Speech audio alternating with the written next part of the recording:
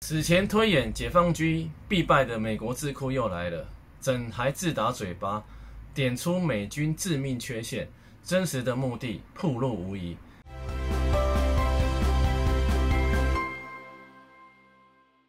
各位好，我是台湾青年联合会理事长何义成。当前国际形势十分复杂，俄乌战事未歇，甚至越演越烈。亚洲地区则有被踹入冷战的趋势。并且也有爆发热战的可能性。台海问题始终是一个不稳定的因素，甚至成为全球最危险的地方之一。对此，美国智库战略与国际问题研究中心 （CSIS） 没少就台海局势进行推算。之前推演的结果是，如果美军第一时间介入，那么解放军必然以失败告终。可这次的结论却是在自打嘴巴。表示，一旦台海爆发冲突，美国将在一周内耗尽关键武器。要知道，按照前一次报告给出的数据，美国海军会损失十多艘大型军舰，甚至包括两艘航母，阵亡大约三千名美军。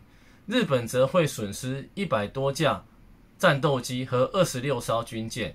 台军的损失毫无疑问将会是最为惨烈的。可是，即便损失这么大，CSIS 依旧认为美方将获得胜利，因为在他们看来，解放军会阵亡一万名左右的士兵，损失一百五十多架战斗机和一百三十多艘主要军舰，两栖部队核心力量也将被损毁。可这不到一个月的时间，结果却发生了巨大的变化。这个结果又是如何得出的呢？按照结果往前推，美国想要取得胜利，美军至少要部署三千六百枚远程反舰导弹，且轰炸机数量足以在中国导弹射程之外起飞，对解放军的舰队和重要军事目标进行打击。可是理想与现实终究存在不少差距。目前，美国武器库中 JASSMER。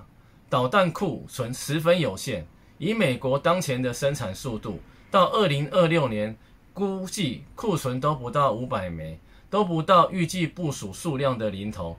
美国的国防工业基础的严重缺陷，可不是三两年就得以改善的，根本不足以应对可能发生的台海冲突，并且仍在僵持的俄乌冲突，完全暴露了美国国防工业能力的不足。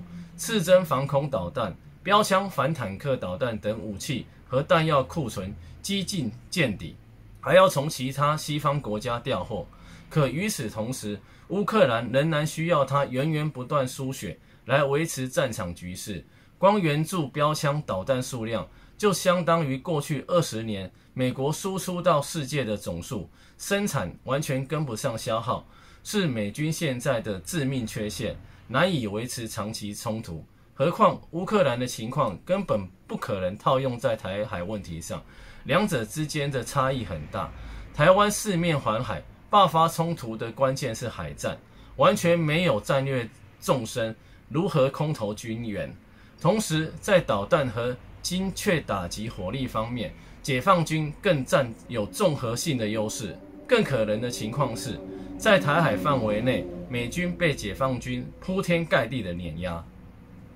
当然，即便美国智库点出美国国防工业的不足，也不完全是出于客观分析，只是在为军工集团谋取利益，让美国国会的拨款向军工集团大幅倾斜，并再度宣扬一波所谓的中国威胁论。毕竟，这种手段已经屡见不鲜了，老套但是管用。可同时也说明，美国才是全世界最大的威胁。为了利益，毫不避讳，不惜不断破坏各区域的稳定局势。总的来说，还是那句话，在战略上藐视敌人，战术上重视敌人。面对美国的各种动作，要能够稳得住，做最好的准备，最坏的打算，不断提升实力，要做到随时都能一战的能力。台海问题。必须得到解决。好了，本期内容就到这里，谢谢大家收看，我们下期再会。